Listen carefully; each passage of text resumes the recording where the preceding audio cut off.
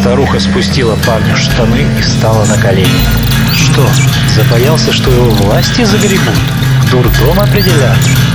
Она облизала языком свои потрескавшиеся губы, потом чуть раскрыла почти полностью беззубый рот и с жаром принялась мусолить член Виктора.